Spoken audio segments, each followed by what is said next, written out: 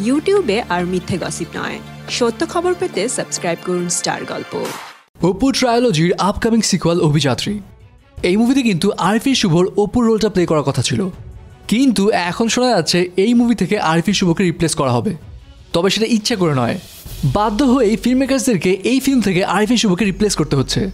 এই মুভির ডিরেক্টর সুব্রজিৎ মিত্র জানান ভিসা সমস্যার কারণে আরিফিন শুভ এই মুভিতে অভিনয় করতে পারছেন না।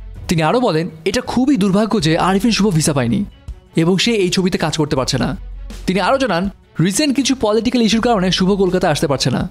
এখন প্রশ্ন হচ্ছে, কি সেই পলিটিক্যাল ইস্যু আসল কথা হচ্ছে রিসেন্টলি লোকসভা নির্বাচনের প্রচারণায় বাংলাদেশের দুজন অভিনয় শিল্পী, ফেরদৌস এবং গাজী আব্দুল নূর অংশগ্রহণ করেছিলেন। এবং এই খবর তো সবারই জানা। যে ঘটনার পরপরই তাদেরকে নিয়ে হয় অনেক সমালোচনা। অনেকেই ক্ষোভ প্রকাশ করেছেন যে, এক দেশের নাগরিক হয়ে তারা আরেক দেশে কেন নির্বাচন ক্যাম্পেইন করবেন? এই ঘটনার পরপরই ইন্ডিয়ান হাই কমিশনার তাদেরকে বাংলাদেশে পাঠিয়ে দেন এবং তাদেরকে ব্ল্যাক লিস্টেড করে রাখেন। আর রাইট নাও ভারতে বাংলাদেশি অভিনয় শিল্পীদের কাজ করা নিয়ে সমস্যা সৃষ্টি হয়েছে। আর্টিস্টরা ভিসা পাচ্ছে না বলেই খবর জানা যাচ্ছে। অ্যান্ড সেই কারণেই অভিজাতির ছবিটি থেকে সরে দেওয়া হলো শুভকে।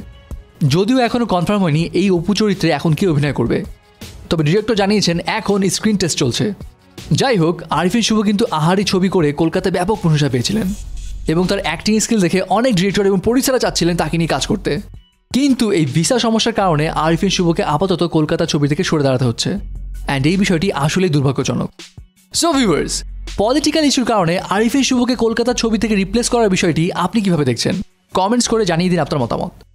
সাবস্ক্রাইব স্টার গল্প আর বেল আইকনে ক্লিক করতে ভুলবেন না।